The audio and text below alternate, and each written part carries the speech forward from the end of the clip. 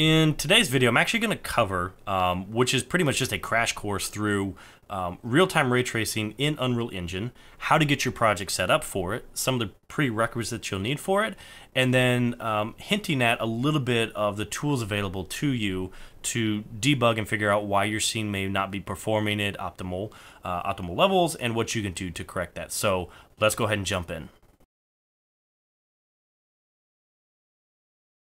So before we actually get started manipulating and building our environment using real-time ray tracing in Unreal, it's important that we have four very critical things ahead of time in order to take advantage of this technology. Uh, the first one being you have to have an RTX card, a card that uh, supports real-time ray tracing, which at this time that's any of the 20 series NVIDIA cards, the RTX cards. The second thing that you're going to need to have is making sure that your engine build is running 4.22 or higher. Now, at the time of this recording, we're using 4.22.0.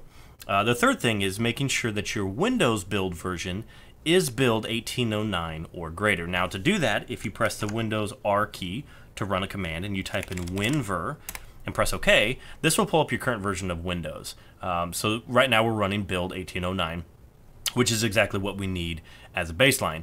And finally, the fourth thing that you need is to force the engine into DirectX 12 mode, uh, which simply to do that, navigate to your engines folder, binaries Win64. Now, if you're using a marketplace build or source build, it will be the same location. And inside of this Win64 folder, you've got this UE4 editor.exe. So if you right click on this and create shortcut, which I've done here on my desktop, right clicking on that shortcut, and opening the properties, this is how you force the engine into DirectX 12 mode. So under the target, which again is going back to our engine binaries Win64 folder, we can see here that we have that UE4 editor.exe. And in there, I've added this text, dash DX12. Now there's a space between the exe, but it's dash DX12 will force the engine to launch in DirectX 12 mode. Now something very, very critical to note here, because um, I'm sure you'll probably have this happen to you, if you launch the project from the um, your library view in the UE4 launcher, it will not force the engine into DirectX 12 mode. You have to launch it from this shortcut. Now, I fully expect that Epic will change this in subsequent builds, but for right now, in order to view and take advantage of the real-time ray tracing capabilities, you have to force in this DirectX 12 mode. So by double-clicking the shortcut that you created with the dash DX12, if we highlight over here our project title, you can see that it is underneath the graphics RHI DirectX 12. Um, and that will that will force the engine to run in DirectX 12 mode. So we've got those four things. The last thing that we need to do is in the engine under our edit project settings, should pop up here, um, underneath rendering, um, and you can type this in as well, but if you type in real time, actually, let's see, ray tracing. There it is. So under this ray tracing, all you need to do is check that and it'll pop up saying, hey, you need to start the editor and it will recompile all the shaders. That is literally all you need to do to get the engine running with real-time ray tracing and your project updated as well. Um, now we'll go a little bit deeper into that here in a second, but those are the pre uh, prerequisites that you need to get the engine running in real-time ray tracing. Now, I'm going to tangent here for a second just to give you guys a little forewarning. Um, I feel it's uh, my responsibility to help you avoid the pains that I've had. Um, if you'd noticed the past couple weeks, I've been a little quiet, no videos.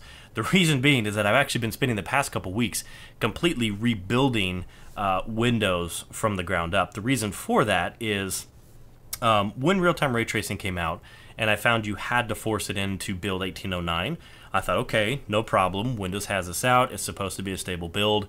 I updated my machine and it just freaked out. CPU was pegged out. My graphics was acting really weird.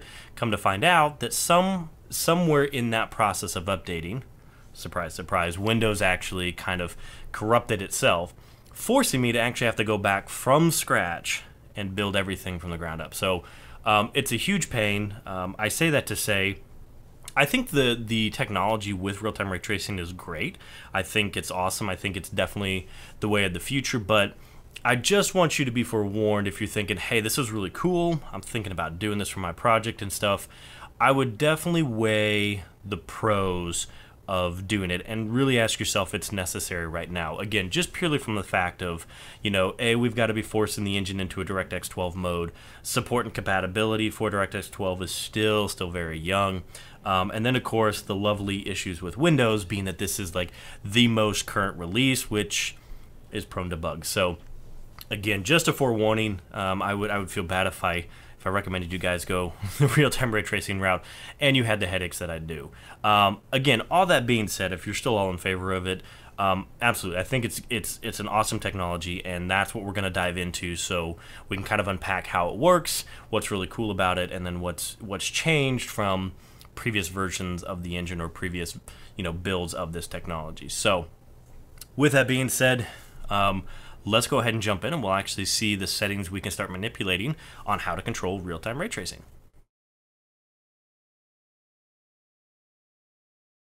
At this point, the engine's restarted, it's recompiled all the engines, and now we're actually starting to see some of the effects of real-time ray tracing. Uh, but of course, the big question is, how do we actually control that? Um, I will tell you that the, the first and foremost answer right now is your post-processing volume. That's really what's ultimately going to control uh, globally how your real-time ray tracing interacts with the world. So to do that, um, I've, I've got our post-processing volume that's already in here. Now, I'm not going to cover the um, kind of the standard things that have been in the engine before, but really what I want to do is highlight underneath the rendering features, there's some new things. Now, granted, this is very simple, very easy to figure out. Um, but we have all these new tabs called ray tracing and then some kind of parameters. So we've got ambient occlusion, global illumination, ray tracing reflections, and translucency. Um, there's also a uh, path tracing under here, but for the most part, these are going to be your primary controls. Now, I'm not going to dive deep on this video under, you know, what you need to consider with max bounces, the samples per pixel, um, so on and so forth. Um, there's a lot of documentation on that right now, but for the most part, just understand that, that this is ultimately where you're going to be controlling all of those effects and how the ray tracing uh, appears in your um, in your actual level. So that's really about it. I mean, in terms of just your um, uh, ray tracing controls globally. So now that we're done with that, let's go ahead and jump over to the different lighting types and how you can control those effects um, with each one. So to start with, the first light that I want to actually cover is a directional light. So I'm just going to add one to our scene now. Because I'm repurposing this interior lighting, we're probably not going to see the effect of it. Um, but that's fine because, um, again, most, most of the light itself is exactly the same as it's been before. Granted, there's a couple new changes to it. So um, inside of um, the, the details panel of our directional light, there's a couple things that I want to make um, note of. Now, um, if you haven't expanded this out, you'll probably see your light and you'll see all the parameters with it, but there's this little kind of upside down triangle, and if we click that, uh, this is what's actually going to pull up some of the more advanced settings for that light. Now in it, there's one in particular that we need to be very cognizant of, which is this cast ray trace shadows. Now, I believe by default it is on, uh, but you just need to make sure that that is checked um, in order to cast those shadows. Now, you'll see this exact same parameter in pretty much all the other lighting types that we uh, that we'll go through, but just be aware that that is how you activate those real uh, ray trace shadows, which if I take a second just to kind of briefly mention something here. Um, as you're going forward with ray trace, ray tracing lights and ray tracing scenes, there is nothing that says just because you activate real-time ray tracing that you have to use it for your entire scene.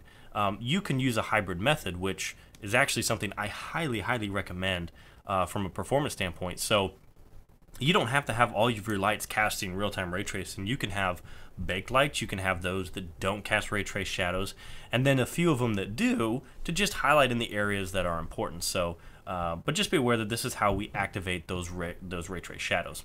Now, okay, so how do we actually get the effect with um, our directional light, and of course with our other lights that we'll see, um, in terms of making those shadows look more realistic?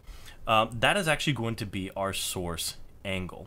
So as we adjust this up and down, and I'll show you on a spotlight where it's a little bit more visible, but that source angle is ultimately what's going to soften your shadows or make them more precise, more hard edge. So with the directional light, it's cast ray trace shadows and your source angle. Okay.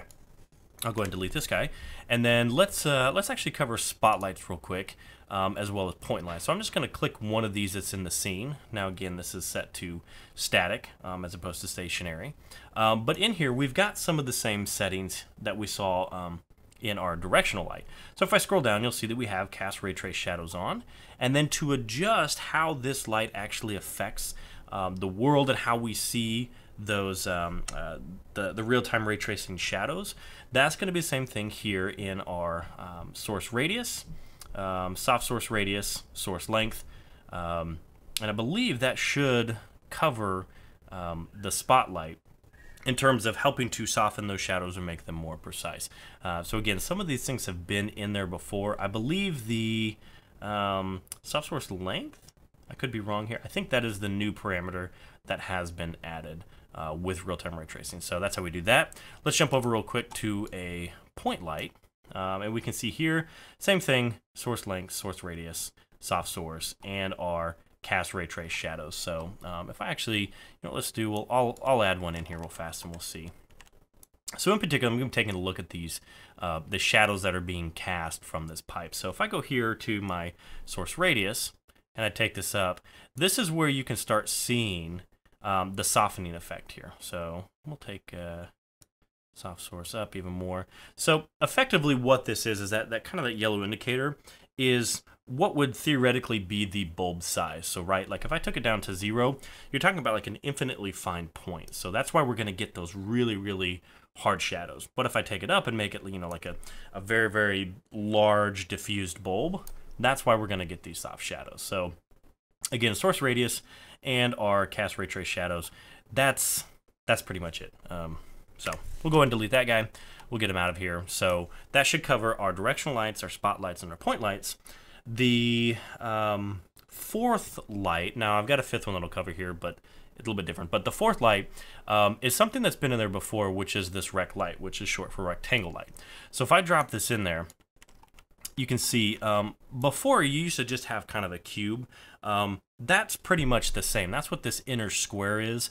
The outer ones are what's considered a barn door. Now, a barn door is actually from the cinematic world, the film world, that allows you to kind of put some, they, they look like doors, on an actual light. Um, so that's kind of the newest addition with the rectangle lights, but fundamentally underneath, they're very much the same rectangle light that's been there before. So I'm going to delete this guy real fast because I've already put one in here to show you. Um, so with this rectangle light, um, we're going to have the same thing, which is our source width, which is going to expand this guy out, source height, which is going to elongate it, and then there's this barn door angle, which again um, is kind of cool. I mean, this is a nice part about you know actually seeing it in real time. You can see what happens with it. But if you notice on the wall, this is where we're starting to get some of that um, diffusion in the light, um, and that's pretty much it. So um, I'll actually um, I'll highlight this real fast. So source width and height pretty much goes back to the same principle that we had with the point light. Um, so if we look at the shadow that's on, I'll go into game mode real quick just so we can see this. Um, the shadow that's on this this sign that's here, how we kind of got that nice soft diffusion. If I take our source width down, same thing source width height. So I'm essentially just making that a very, very fine point, uh, which actually will activate game mode here. You can see we now get that very, very crisp hard shadow. But then if I start taking this up, source height, you can see we now start to get it more diffused. Um, again, that is uh, very much, I mean, very consistent across all the different lighting types. Source width, um, source radius, and then our real-time uh, cast ray trace shadows. And that's pretty much it. The rest is is pretty much all the same lights you've known and you've come to love with Unreal Engine. Okay, so I did say that there was um, a fifth one, which is a skylight. Again, this is something that you know is, is used in a lot of projects, um, and it kind of simulates an environment being cast into it. Uh, but there is an option with skylights, and I believe, if I'm not mistaken, this is somewhat supported. I don't think it's fully ray trace supported right now. I could be wrong, uh, but with that, all you have is in the rollup. So again, this is kind of by default. If you expand this out, there is this cast ray trace shadow. So if you turn that on, that will do it. But if you notice, we don't really have any sense of scale or you know skylight size. Um, it's pretty much just a flag that says go ahead and cast ray trace shadows, um, and that is it. So that covers all the different lighting types and how to activate your real-time ray tracing with those lights um, in the engine. So with that, we're going to move on to the next step, which is kind of debugging ray tracing a little bit to find out, you know, hey, what's happening, where's performance bottlenecks, so on and so forth. So let's go ahead and jump into that. So in the engine, there there's always been this GPU profiler, um, and we've also got stats that we can look at as well. But with the addition of real-time ray tracing, we've got a few things that have been added to that. So the first thing that I want to do is if I press Control Shift and comma, this will actually pop up the GPU visualizer. Um, and really what this is doing is just capturing a single frame of what's happening to kind of break down the subcomponents of everything involved with rendering that frame. So if I expand this scene out, this kind of shows you all the different passes that the engine goes through to render an image on screen. Now with it, what you'll see with your ray tracing is this ray tracing reflections, um, and I believe there's a there's a couple other things that pop up as well. But if you notice, um, this this is why going back to a comment I made earlier about you know using a more hybrid approach um, is definitely definitely definitely recommended um, is because of this. If you notice down here in this ray, uh, ray tracing reflections even though currently i'm running a rtx 2080 which is a good card it's not the highest in but it's certainly not the lowest in I'm still getting about 20 milliseconds of frame time, which equates out to around 30 frames a second for what is a relatively light scene. And that is primarily due to this 20 seconds of milli, uh, 20 milliseconds of frame time for just my real-time ray tracing reflections alone. So this is a great place to start on just figuring out, okay, where are your costs on things? I could then use that information to say go back into my um, my global post uh, processing volume. Maybe I adjust some of the number of bounces. Maybe I adjust some of the parameters in there to help lighten um, each of our frame times to get better performance. Uh, but this is a great place to start for that. The second thing is to actually go through some of your stats. So um, if we use this little caret kind of drop down, there is a stat field. Now, granted, there's a lot of stats that you can pull up, uh, but when it comes to just real-time ray tracing just out of the gate, there are a couple things that are kind of my go-to. Now, the first thing I want to do is my GPU. Uh, there's another one as well, which is scene rendering. And then I'm going to go to engine and I'm going to do unit. So we'll do that. We'll pull it up. Um, and so over this is the stat unit that's happening here, which shows me my frame time, my game time, which is the actual processing running for the game itself in terms of the game thread draw time, GPU time, which if you remember from our GPU profiler, that we had that massive 20 milliseconds of frame time just for reflections. So that's showing me what's being processed on the GPU, and then RHIT, which I believe is things directly related to real-time ray tracing. Uh, you can see that's pretty high. So um, by using this one, we can clearly see that whatever I've enabled in the scene with uh, real-time ray tracing is adding a lot to my overhead. Um, and then finally going through our GPU stats and scene rendering, um, this is again this has always kind of been in the engine, but there are some additional things added with ray tracing, which shows us, which is pretty clear, ray tracing reflections. Um, I believe there's some other ones that pop up here as well. Um, you know, ray tracing ambient occlusion. So you'll know a lot of what's happening here. Um, but this is great for just you starting to debug your scene. Um, and that's kind of the, the debug mode for that. Okay, so now that we've kind of at least just stepped through just a few of the tools, there's way more that you could go in depth, but this is just a great, great starting point if you haven't worked with stats or GPU and stuff like that. Um, so really the only last thing that I want to cover is uh, when it comes to material setups. Um, so we'll jump into that real quick.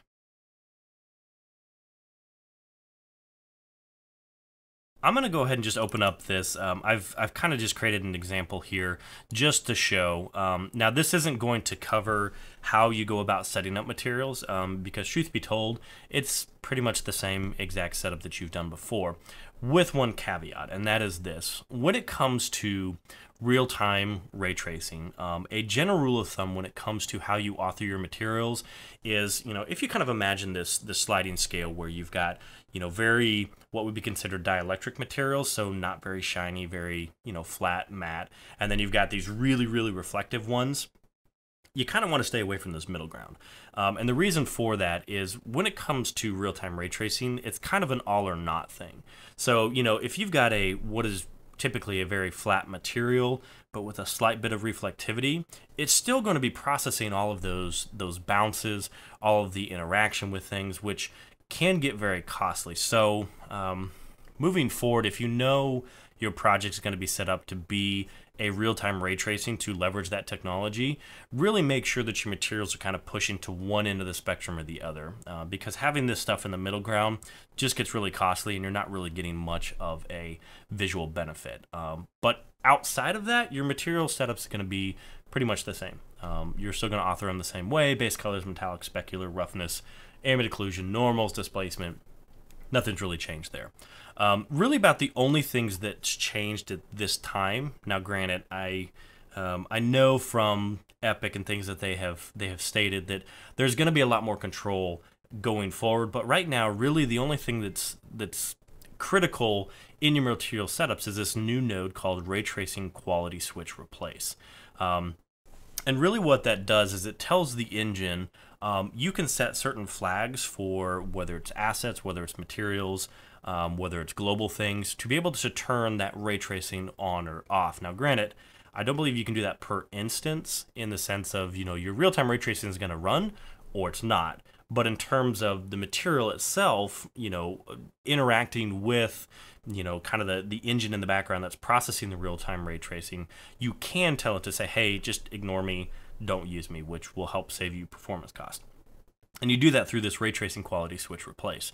Um, so really all that you have to do for this is um, you're going to have your normal material. So it's not a normal map. That's just what would be your normal material that you would create without real-time ray tracing. And then what is your material with ray tracing? Um, so you're going to plug those two in there. So ideally, the way you would go about setting this up is that your normal material you could have a little bit more complex, a little bit more robust, uh, because it's using again the technology that's already been there that's not as expensive. And then you could have a material that's a little more optimized for ray tracing, but maybe takes advantage of that real-time ray tracing, and you plug it into there. So you can simply branch it out. You can do break material attributes, set material attributes, break those two, and then pump it back in. So this is definitely going to be something going forward that as you author materials, this is going to be very critical in your setups and something that I think will um, will definitely be a new um, new bit of tool set for material artists, um, uh, whether it's tech artists and stuff like that. This is going to be something that's going to be very very critical for optimizing performance on you know systems that don't run real time ray tracing and those that do. Um, outside of that, I honestly don't have a whole lot more for material setups. Um, again, because this is just such in its infancy right now. Um, but I, I, do know that coming down the pipe are going to be a lot more tools um, to be able to make this you know better optimized and give um, artists a lot more tool sets. So um, that kind of covers uh, at least the material setup. All right, so to conclude, kind of just this again, which is just a crash course in real time ray tracing, um, these are the things that I, I, think are very, very critical to consider beforehand moving on with a, um, a project and setting up for real time ray tracing. And um, it is this obviously, system stability. Um, I think Windows needs to kind of catch up to the game a little bit.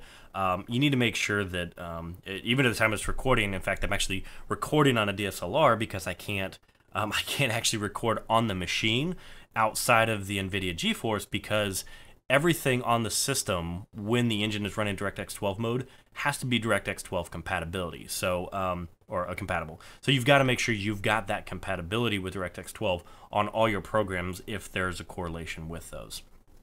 Um, the the third thing is considering you know the performance cost with this. Again, I'm running on a very robust system right now um, with a 2080 card, and I'm still getting about 30 frames a second. So there's a lot of costs involved in doing this. Um, I fully believe this technology goes uh, further down, it'll get a little bit faster and streamlined. But right now, it is very costly and very expensive. Um, you need to consider in engine the cost of your materials, uh, whether or not you know. Don't try to have anything in the middle ground.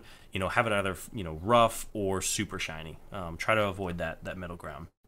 Um, considering the number of bounces that you're um, that you're going to have for all of your different lights, uh, for the reflections, um, so on and so forth. Uh, translucent objects, very very careful with those when using real-time ray tracing. Those get very very expensive.